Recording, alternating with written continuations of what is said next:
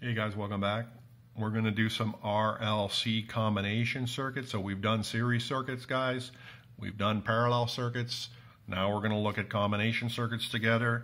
You can tell that this is a combination circuit because it has some series components in it and it also has some parallel components in it, okay? And you're lucky because all my combination circuits are going to look very similar to this, okay? Where you've got a voltage, you've got a rung with a capacitor and a resistor, a rung with an inductor and a resistor, and then just a rung with a resistor in it alone.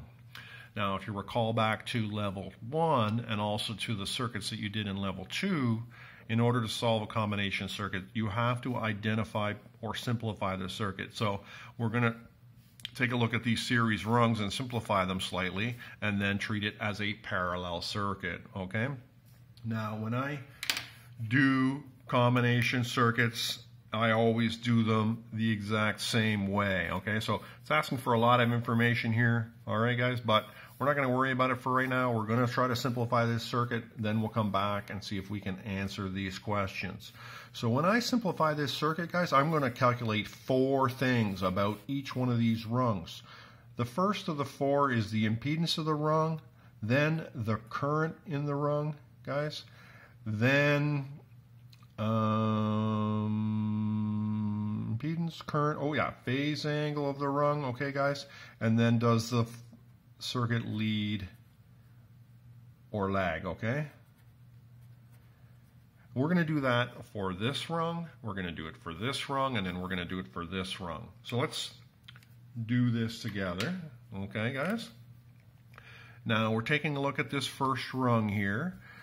This is a series rung, and we're going to calculate the impedance of this rung. It is going to be the sum of these two, but it'll be the phasor sum of those two. So over here, just for fun, if I wanted to figure out the phasor sum of those two, I'd have R on the bottom, okay, it's 10 ohms, right? And then I would have XC, uh, we'd be comparing all these to the current here, so the current would I have to lead, so that guy would be going straight down here. There would be XC, okay, and it is 40 ohms. And I'm showing you this, but guys, but maybe you won't have to do it. There's the impedance right there, right? So you can see by this rung here that uh, the impedance is going to be 10 squared plus 40 squared, right? Square root 10 squared plus 40 squared equals square root equals.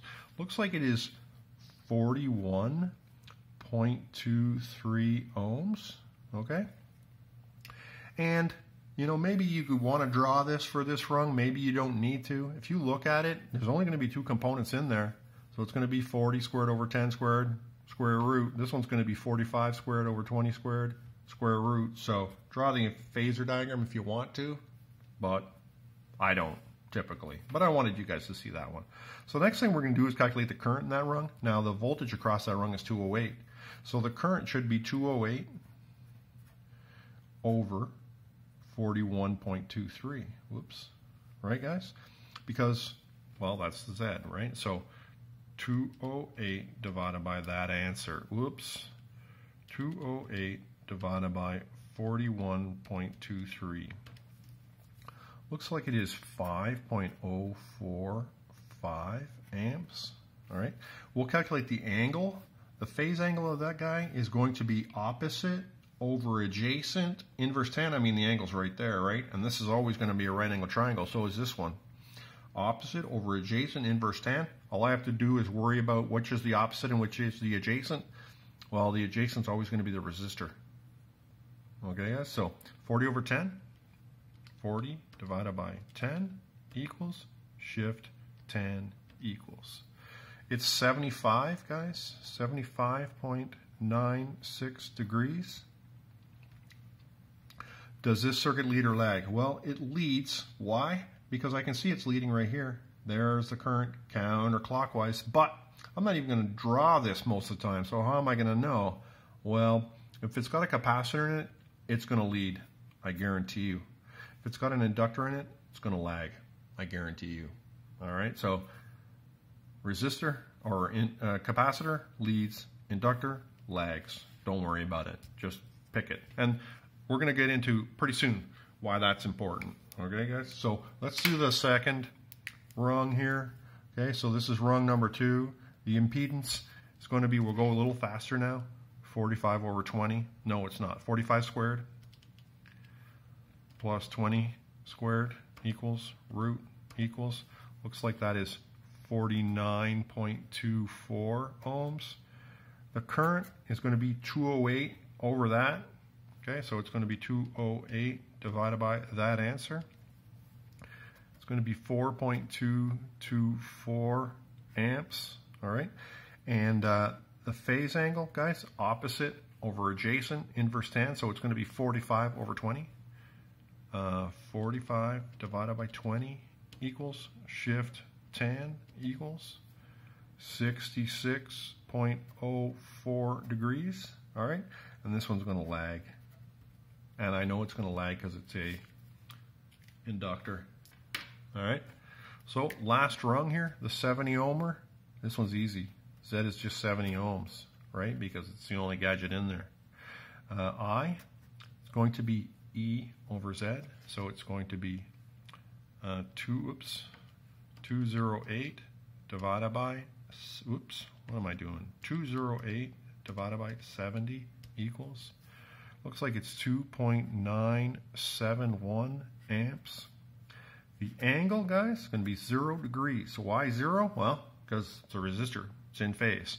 So I don't have to worry about whether the circuit leads or lags at all because it doesn't lead or lag. All right, guys? Now, why did I figure this all out? Because if I'm going to calculate the impedance of this circuit,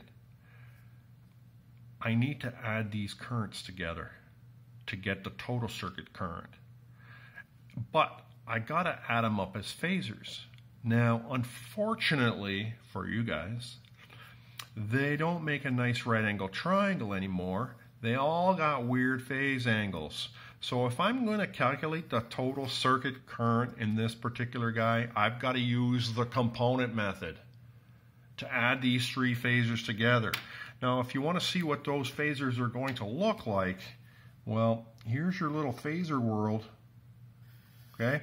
And I'm going to draw these phasors at their correct angle and then I'm going to use HCVC to figure out IT. Okay, so let's do that for a second. I've got 5.045 amps and it's at 75 degrees. So it's going to look something like this.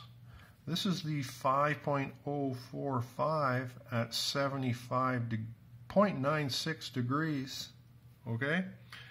And this 4 amps is actually lagging because I'm comparing all this to voltage, by the way. It is leading the voltage by 75, so it is counterclockwise or up. All right, this is 4.4, 4.224, and it's lagging the current by 66, which means it actually sits down here or clockwise from the voltage, but I'm going to move it tip to tail it's going to look something like this, okay? And that is going to be the 4.224 at minus 66.04. Now, the reason I had to make that negative, guys, is because if you don't, the trig will think it's up here. Okay, if you leave that as a positive angle, the trig will think it's sitting up here because positive angles are up. And I know that this current is lagging because it's got an inductor in it. It's down here. So in order to make the trig work, I got to make this negative. And that's the only reason why I need to know if it's leading or lagging. It's so that I know whether to leave this angle alone or actually make it negative so the, tri the trig works out. All right. And so I always tell students, as soon as you've decided that it's lagging, in other words, if you, as soon as you notice that it's got an inductor in it, just put that minus sign there, okay, because you're to need it, all right? Now, the last phasor here is this one right here, 2.971. 2.971, and it's sitting here at zero degrees, all right? And we're going to add this up in a second, but on another video, okay? But what I want you to notice is that the resultant, or I total. This is I total for the circuit, guys. It is the sum of the three currents, okay? And it's going to have a vertical component and it is going to have a horizontal component. All right, and in the next video, I'm going to calculate those both. All right, so come on back.